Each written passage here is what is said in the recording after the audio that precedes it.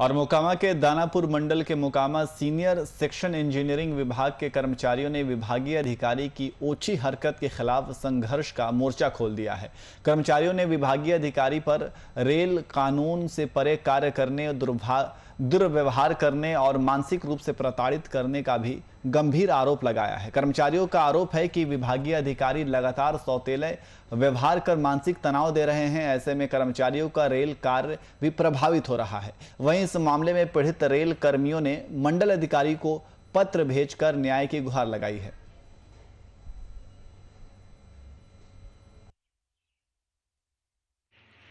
हमारे bridge SSC in charge साहब कर्मचारी के साथ कर रहे हैं अत्याचार।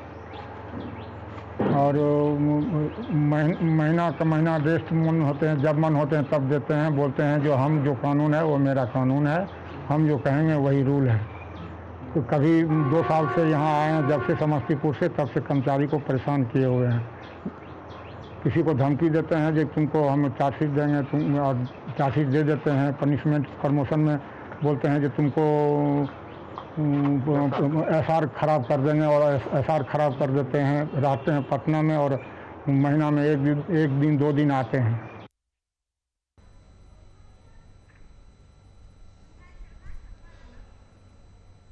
और इसी खबर पर अधिक जानकारी के लिए हमारे संवाददाता मुन्ना शर्मा हमारे साथ फोनलाइन पे मौजूद है। मुन्ना विभागीय अधिकारियों ने गंभीर आरोप लगाया है। उनका क्या कुछ कहना है?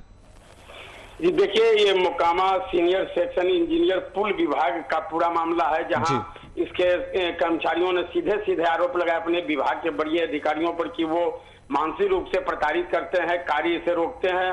और कई गंभीर आरोप हैं जिसकी शिकायत डीआरएम तक की गई है और जाँच की मांग भी की गई है। कर्मचारियों ने कहा है कि वो पैसा भी मांगे, रिश्वत भी मांगते हैं। काम के बदले कोरोना काल में जो वैक्सीनेशन होता है, उसके लिए तीन दिन छुट्टी दी जाती है। उससे भी वो वंचित करते हैं, कोरोना वैक्सीन लेने से भी रोकते हैं। तो कई आरोप हैं जिसे लेकर विभाग के जो वो कर्मचारी है, उन्होंने काम ठप किया है। और अधिकारी के खिलाफ जाँच की मांग की है। आज दानापुर मंडल से अधिकारियों की एक टीम भी जाँच के लिए आ रही है। जी। जी बहुत बहुत शुक्रिया तमाम जानकारी के लिए।